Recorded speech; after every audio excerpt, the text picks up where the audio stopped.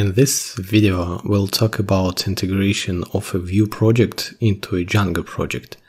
And the result looks like this. The Django development server is started on localhost 8000 port number. It's the default Django address.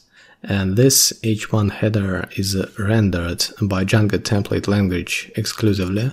And uh, at the same time, we can see the Vue object that uses static files, JavaScript image, and CSS styles bundled by Webpack from several Vue.js components. For example, h1 header and I have to reload the page to see changes. And uh, for example, app view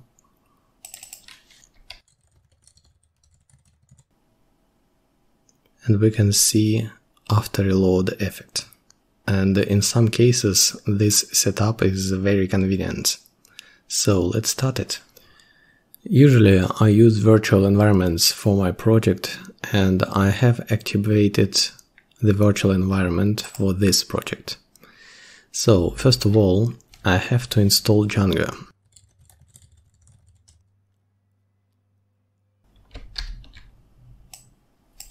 And uh, now I want to create a Django project. Start project command.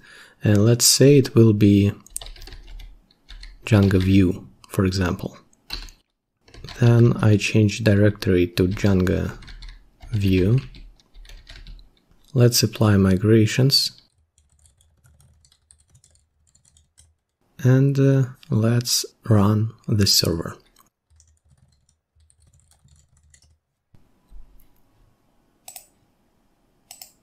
Okay, it's working. We can see Django welcome page. Great. Now, at the level of the manage.py file, I want to create a new folder, the templates folder, for example. And inside the templates folder, I'm creating a new file. Let's say it'll be index.html. And let's fill it with some content. For example h1 something like this.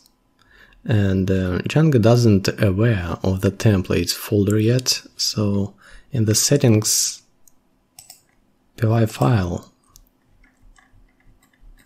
in the templates list in the dirs list I want to specify a path to this folder.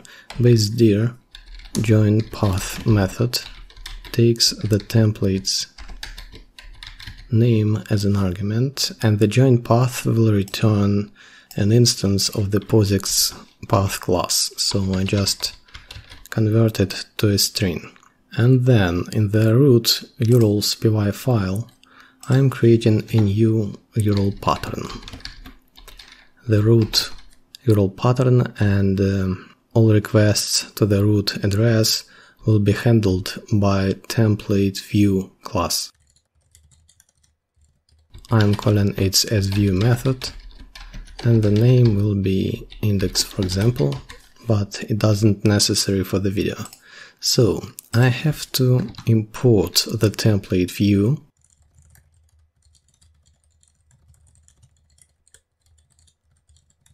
and uh, the sview method of the template view class have to get the name of the HTML template that should be rendered.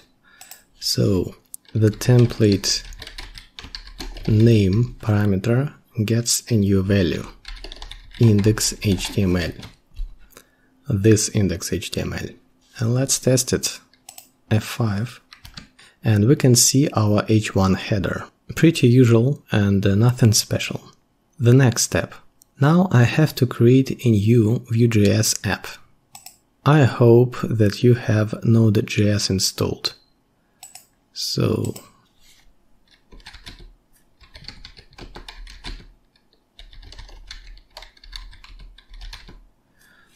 I am changing directory to the directory with my Django project. I am on the level of the manage.py file. So let's install the Vue globally.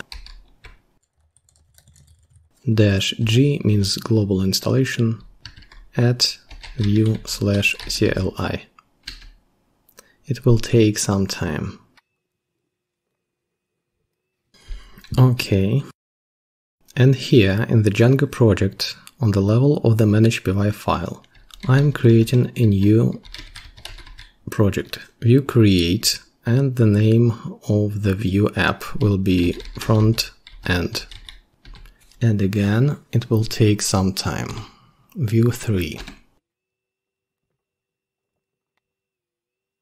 Okay, then change directory to front end, like Vue said. And let's start development server.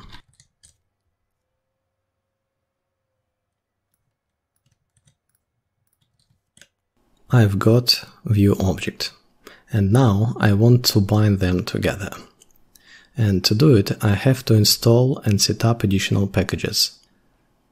The first one is the Django Webpack loader for the Django side, and the second one is the Webpack bundle tracker for the Vue side.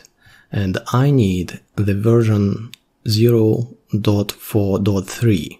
So let's install it. I want to start with the Webpack bundle tracker for, for the Vue project.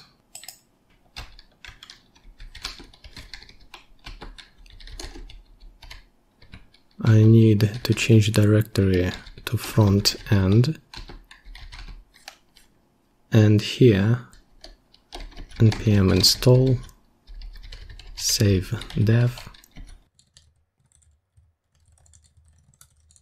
and the version will be 0.4.3 and now I have to change Webpack settings. And to do it in the front end folder, I have to create a file vue config.js. And for the sake of brevity, let's copy the settings from my gist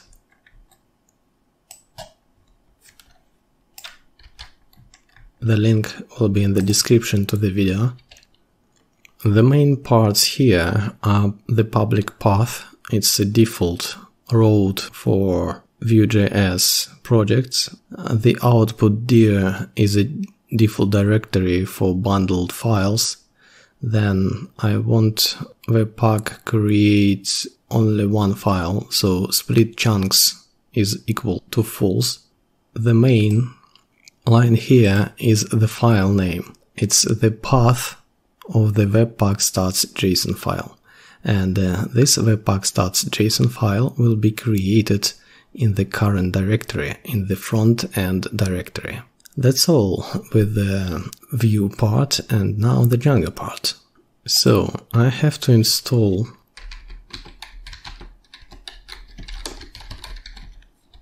Django Webpack Loader.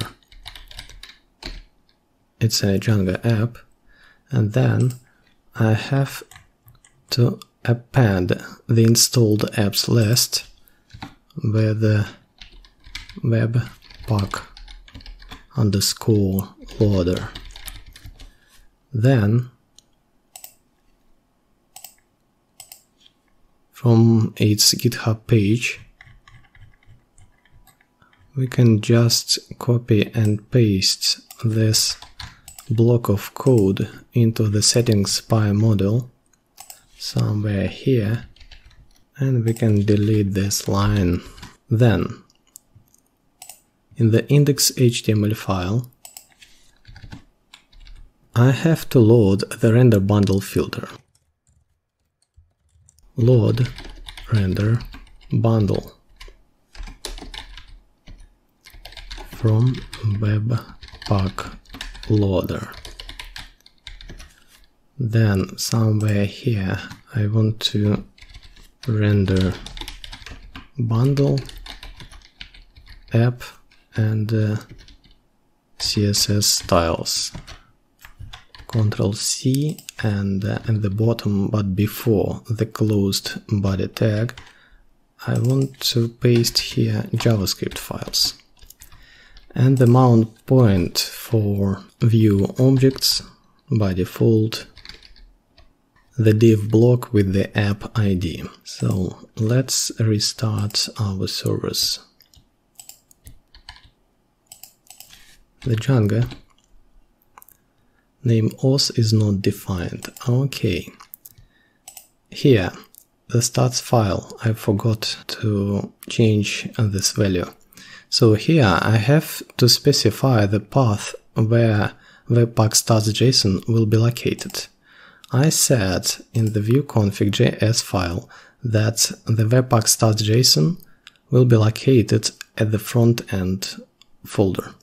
So here I have to use the base dir again join path the first argument will be front end and the second argument the webpack stats JSON and convert it to str and that's all.